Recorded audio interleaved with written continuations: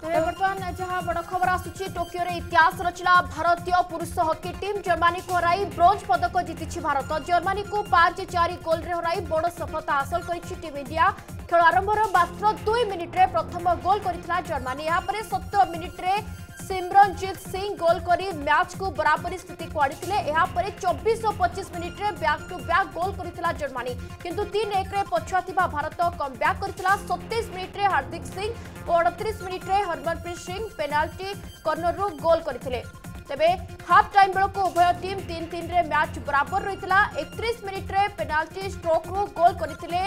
रूपिंदर पाल सिंह या भारत चारि तीन रे आगुआ हो जाता चौतीस मिनिटे सिमरनजित सिमरनजित मैच द्वितीय गोल कर भारत को पांच तीन गोल रे आगुआ करते तेज अड़चाश मिनिटे जर्मानी आउ एक गोल कर मैच को पांच चार को आनी उशी शेष थर पर भारत हकी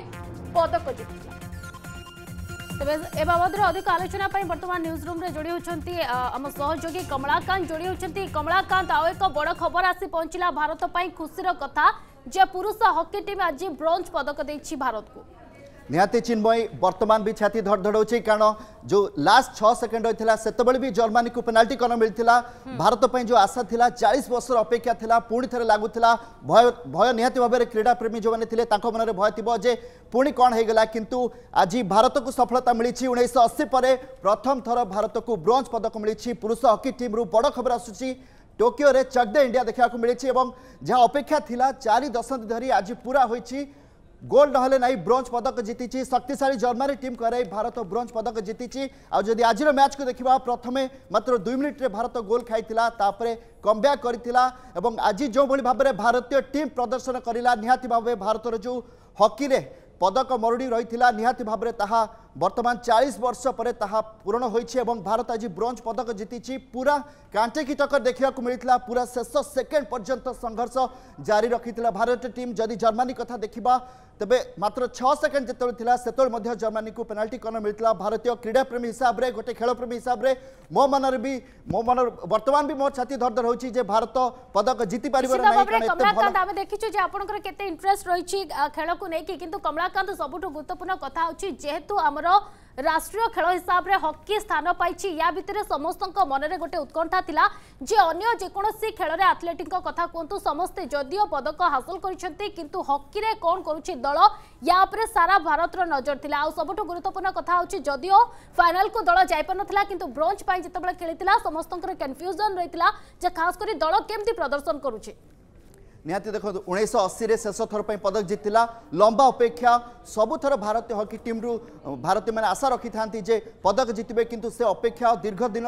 ହେଲା ରହିଥିଲା ଏବଂ ଜାପାନରେ ବର୍ତ୍ତମାନ ଯାହା ଜର୍ମାନୀକୁ ହରାଇଲା କାରଣ ଯଦି ଦେଖିବା ବେଲଜିୟମ ସହିତ ହାରିବା ପରେ ବର୍ତ୍ତମାନ ବି ଆମେ ଯେମିତି ଆମେ କଥା ହେଉଥିଲେ ଯେ ଆଶା ଥିଲା ଭାରତ ପଦକ ନେଇକି ଫେରିବ ବର୍ତ୍ତମାନ ଜର୍ମାନୀକୁ ଯେଉଁଭଳି ଭାବରେ ହରାଇଲା ଏବଂ ଇତିହାସ ରଚିଲା ପ୍ରତିଟି ଭାରତୀୟ ଆଜି ଖୁସି ହୋଇଥିବେ କାରଣ ଏ ଅପେକ୍ଷା ଭାରତର ରାଷ୍ଟ୍ରୀୟ ଖେଳ ଯାହାକୁ ନେଇ ଆମେ ଗର୍ବ କରୁ ଅନେକ ଦିନ ଧରି ଆମକୁ ଖୁସି ହେବାର ମୌକା ମିଳୁନଥିଲା କିନ୍ତୁ ଦୀର୍ଘ ବର୍ଷ ପରେ ଅପେକ୍ଷାର ଅନ୍ତ ହୋଇଛି ଏବଂ ଆଜି ଜର୍ମାନୀକୁ ଭାରତ ହରାଇଛି যেভাবে ভাবে প্রথমে ভারত পছুয়া লা এবং એક તીન પછુଆ ଥିଲା ବ୍ୟାକ୍ ଟୁ ବ୍ୟାକ୍ ଗୋଲ୍ କଲା ତାପରେ ପୁଣି ଲିଡ୍ କଲା ଏବଂ ଜର୍ମାନୀ ବାପସି କରି ପାଞ୍ଚ ଚାରି ମଧ୍ୟ ସ୍କୋର ଆଣିଥିଲା ଶେଷ ଛଅ ସେକେଣ୍ଡ ପେନାଲ୍ଟି କର୍ଣ୍ଣର ମଧ୍ୟ ମିଳିଥିଲା କିନ୍ତୁ ଭାରତ ଭାରତୀୟ ଖେଳାଳି ଠିକ୍ ଭାବରେ ଖେଳିଥିଲେ ଏବଂ ଡିଫେଣ୍ଡିଂ କରିଥିଲେ ଏବଂ ଶେଷ ପାଞ୍ଚ ଚାରିରେ ଗୋଲ୍ରେ ବର୍ତ୍ତମାନ ଭାରତ ହକିରେ ପଦକ ଜିତିଛି ବ୍ରୋଞ୍ଜ ପଦକ ଜିତିଛି ଉଣେଇଶହ ଅଶୀ ପରେ ଭାରତ ପାଇଁ ଇତିହାସ ରଚିବାର ଯେଉଁ ସୁଯୋଗ ଥିଲା ଭାରତ ପଦକ ସହିତ ବର୍ତ୍ତମାନ ଭାରତୀୟ ପୁରୁଷ ହକି ଦଳ ଫେରିବ ଏଟା ଗୋଟେ ପ୍ରତିଟି ଭାରତୀୟ ପାଇଁ ବର୍ତ୍ତମାନ ଗର୍ବର ବିଷୟ ଯଦି ଭାରତୀୟ ପାଇଁ ଗର୍ବର ବିଷୟ କମଳାକାନ୍ତ ଆମ ସହଯୋଗୀ ଦାସଙ୍କ ନ୍ୟୁଜ୍ ରୁମ୍ରୁ ଆମ ସହିତ ଯୋଡ଼ିଥିଲେ ଏବଂ ତାଙ୍କ ଖୁସି ମଧ୍ୟ ଦେଖିବାକୁ ମିଳୁଛି ଜଣେ କ୍ରୀଡ଼ା ପ୍ରେମୀ ହିସାବରେ ସେ ମଧ୍ୟ ବେଶ ଉତ୍ସାହିତ ବେଶ ଖୁସି ଆଉ ଏଇଟା ମଧ୍ୟ ସ୍ୱାଭାବିକ ଯେହେତୁ ଆମ ଭାରତୀୟ ଟିମ୍ ଗୋଟେ ଯେତେବେଳେ ଯଦି ବିଜୟ ଲାଭ କରୁଛି ନିହାତି ସମସ୍ତଙ୍କ ପାଇଁ ଖୁସିର ଖବର ଆମ সহ সুশান্ত সাউ আমার রিপোর্টর এ বাবদে টেকনিক অপডেট আমি যে দৌঁচ সহ যোড়াই সুশান্ত টোকিওর ইতিহাস রচনা ভারত পুরুষ হকি টিম গোটে বড় সফলতা মিছে নিহতি আম সমস্ত গর্বর বিষয় নিশ্চয়